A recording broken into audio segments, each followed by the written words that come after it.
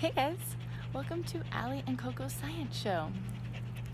Today, today we are on a Valentine's Day, a Valentine's Day adventure. We are going around our very own ecosystem and looking for examples of symbiosis. Now there are three main categories of symbiosis. There's mutualism. Now that's when both organisms in an interaction are benefiting. So, like an example, uh, an example of this would be like you're on a soccer team and you and your friend, you work really hard together to score a goal. That is mutualism. The second type is commensalism, and this is where one organism benefits and the other is not affected. My favorite example of this are when barnacles grow on baleen whales. The baleen whales are so big they don't even know the barnacle's there.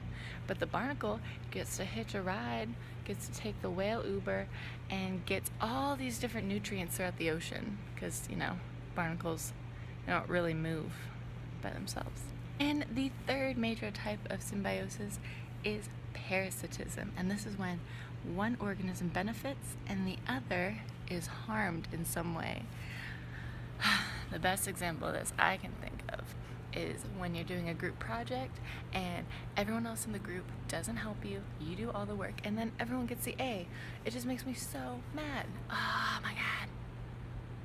It's cool. It's cool. I'm, I'm fine.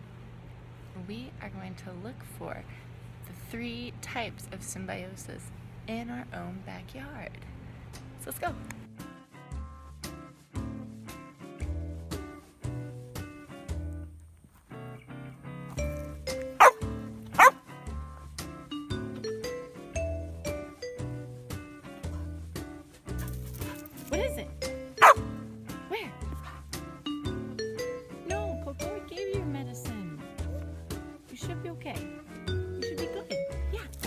It's taking me on a wild goose chase through the woods. Coco, where are we going? Which way? I think we're lost. It's fine.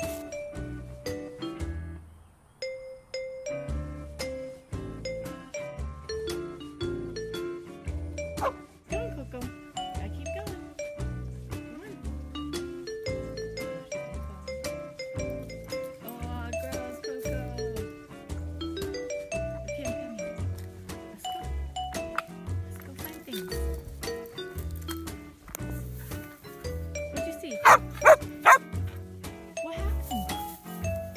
Coco, no. But they aren't. They're not bothering the trees. No. Let's go. What about Coco? She's a parasite. You a parasite? Okay, you right. Okay, let's go. Come on. We got more stuff. To, we got more adventures. No, dude. Excuse me. Are we gonna go find more things? Come on. What are I'm, I give up. I don't even know what this is anymore.